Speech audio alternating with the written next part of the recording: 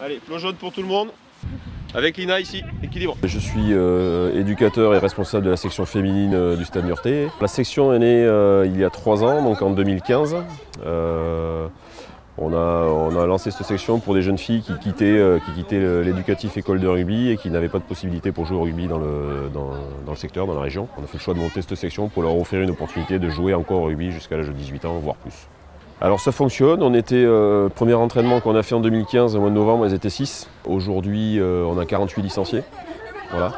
Donc euh, on en avait une trentaine la saison dernière, donc voilà, c'est la première année, donc on a fait que des entraînements. Deuxième année, on a pu créer une équipe cadette, donc euh, 15-18 ans. Et là, sur la troisième année, on a, on a créé une équipe senior, donc plus de 18 ans. Donc voilà, il y a de l'engouement, il y a de la demande, donc on continue. Donc les premiers objectifs c'était la fidélisation et puis, euh, euh, grossir les effectifs et la quantité de joueuses voilà, pour pouvoir justement euh, bien figurer en compétition. On y est arrivé dès la première année sur les moins de 18 ans sur lesquels on s'était fixé quelques objectifs de résultats qui ont été au-delà de nos espérances puisqu'elles ont fait une qualification en championnat Grand Ouest Espoir et elles ont gagné en finale donc elles étaient championnes du Grand Ouest.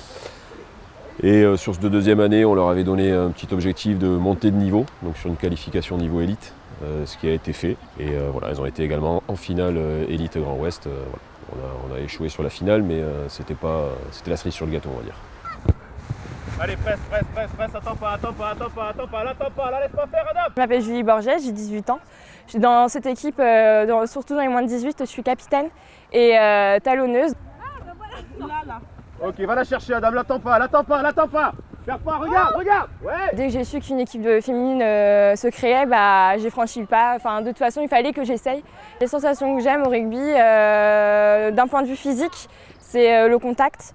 Aller dans les rucks, gratter, sentir qu'on fait quelque chose de bien, qui apporte quelque chose à l'équipe. Il faut savoir rentrer dans le tas, euh, pas louper de plaquage. Et en fait, euh, surtout au rugby à 7, il faut savoir être polyvalente. Faut- C'est-à-dire que même si je suis talonneuse, il faut, euh, que je sache courir comme une ailière, euh, que je sache faire des passes comme la numéro 9 ou la numéro 10.